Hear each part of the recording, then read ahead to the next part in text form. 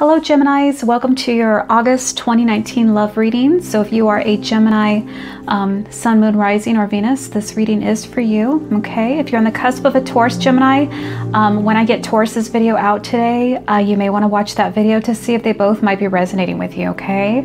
Like always, these readings are for the general public, so they won't resonate with everyone. So, um, if you would like your own private reading from me, all my links are below in the description box. Okay. So, Gemini, after shuffling, uh, shuffling and concentrating on your sign, um, I drew the Four of Swords, the Empress in reversed, the Five of Wands, the Stork, the letter, and the card of concern. Okay, so let's see what I get here for you guys. Now, um,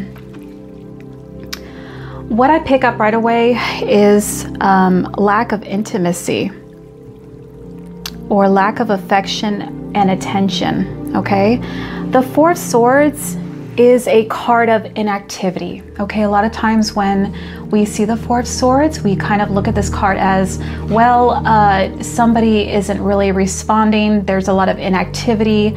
Uh, it's time. It's like a timeout type of card where no action is being taken. Okay, it's it's more like um, what is that saying? Uh, I'm not going to worry about today. I'm just going to worry about it tomorrow. okay? So, like I said, there could be lack of attention from somebody you're not getting.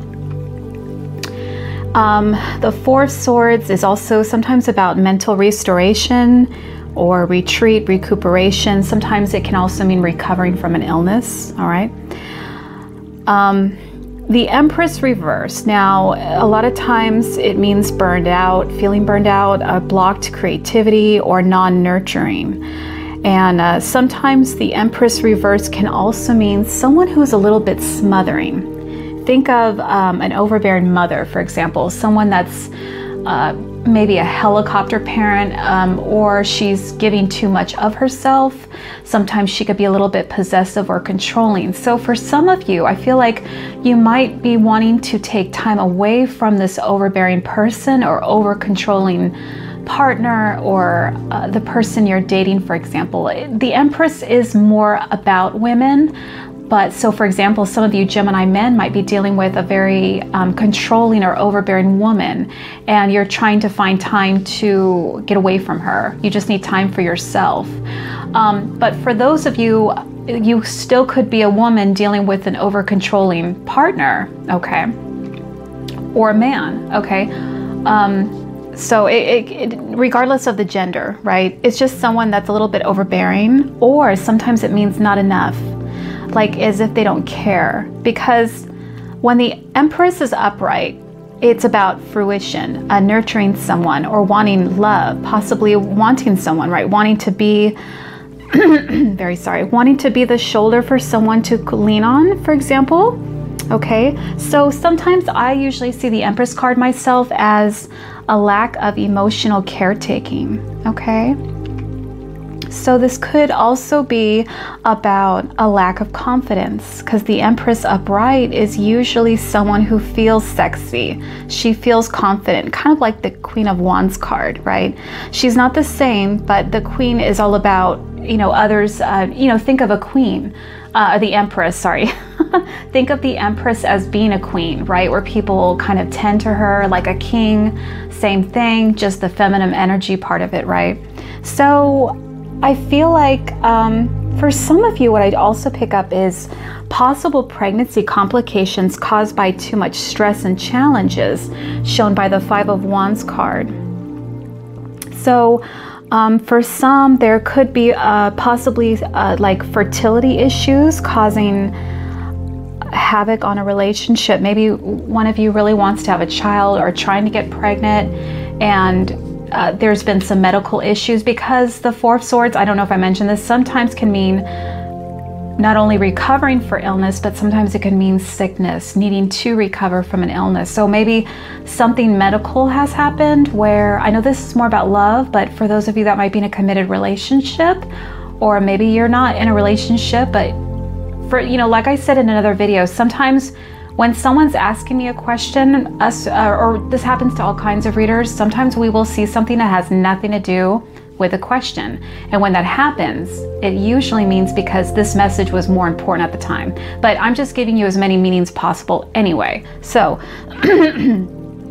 very sorry. So, there could be, like I said, fertility issues, um, or it could be some of you that are pregnant, maybe um, having to go through bed rest, you know, while you're pregnant, and maybe this causes your partner to be upset because they can't, well, you know, they can't be intimate with you. Because sometimes um, that's never happened to me, but I've had plenty of friends who told me the doctor said no sex, right?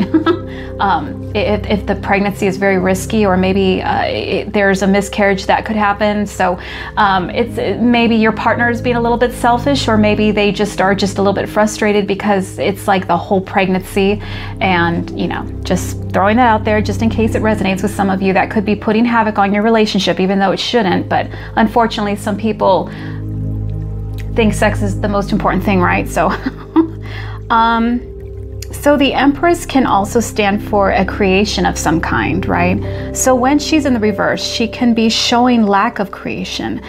Maybe some of you thought a relationship would blossom, but instead it feels like it's kind of welting at the moment, or perhaps you feel like your love life in general is welting away, like not enough passion, for example. And um, Something else I gather here is that for some of you, I feel like planning to be single for a while to take care of your own needs and your self interest doesn't or didn't happen according to plan. Now, we are still in the, in the very early, uh, we're in the beginning of the month still, right? So this may have not happened for some of you, but maybe it has, right? So it's like something didn't go according to plan due to other people suddenly causing some excitement or exciting feelings, perhaps. But it's sort of confusing feelings. Like I feel like it's confusing. It's as if, I want to say, it's as if someone came back around and interrupted your peace. At first, it may bring, it was bringing some excitement, right? But then frustration, kind of like, um, what happens when we finally move on from a relationship and right when we feel at peace. You know, right when we're feeling fine with being single, we're finally moving on, we're starting to maybe chat with people, but we're not dating yet, we're kind of focusing on ourselves. And then all of a sudden, a next lover jumps in, and although you don't mind sitting back watching them beg for you back, because it's kind of flattering, right? But it's also, it, it kind of also causes frustration and competition, maybe shown by the Five of Wands card again, right? And we do have the card of concern showing up here also. So this is why I'm seeing more of an issue than a non issue. So this could also be that some of you want to work on yourselves, but your partner is not really that supportive. They're not being that supportive about you working on yourself. Or maybe they're just trying to sabotage your efforts with being negative or jealousy. Maybe you're trying to eat healthy and they're worried that you're going to lose weight and attract all these hot guys because they're insecure.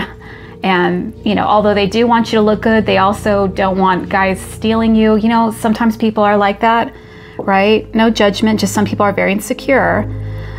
So or they think you will. You know, they think that you'll uh, not want them anymore, right? So, this can also be about an emotional fight.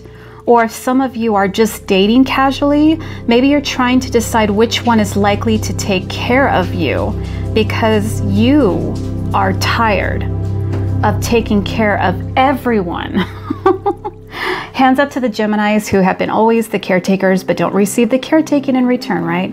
Right, because you Geminis can. I know you can. Okay, my husband's one. He's he's a very good. He's a he's a caretaker. I'm a Cancer, so we're both caretakers, right? So I feel like some of you are really making sure before you jump into a relationship this month. Those of you that are single, um, I feel like this time you want to make sure that you won't be the sugar mama or the sugar daddy, right? So let's take a look at the stork and letter card, okay? So these two cards represent longing to express your feelings. The stork represents longing for something or sometimes migrating, someone from afar. Uh, maybe some of you feel distant from someone or you feel that love in general, like your love life, is distant. You know, the letter is about communication, letters, emails, texts, etc. So this shows communication might be transforming, but keep in mind this could be a negative transformation depending on whether you change that or the other person does, okay? And the reason I say that is because perhaps this is what you crave or maybe maybe it's the advice for this month, right? That communication or communicating your needs and wants is what needs to be changed because you know these cards also represent longing for meaningful conversations finding ways to express. My dogs want to go outside for a minute. They keep walking in the room. Hold on babies. So because these you know uh, finding ways to express an inner transformation for some of you okay? Now for others this combo can also mean coming back to a repeated conversation that concerns you because you want to come back where you left off with this person, or that you just crave closure of some kind, or longing for closure. So, um, that's what I have for you. So, you guys might have been dealing with someone not paying enough attention to you, or pregnancy issues, or someone that's a little overbearing and you need time away because it's causing a lot of arguments or again, there's some kind of closure you need. Someone needs to open up because regardless of what's going on here, it's still concerning a lot of you. So that's what I have for you, Gemini. And uh, I hope that helped. Thank you again for listening to me. I will see you guys on my next video.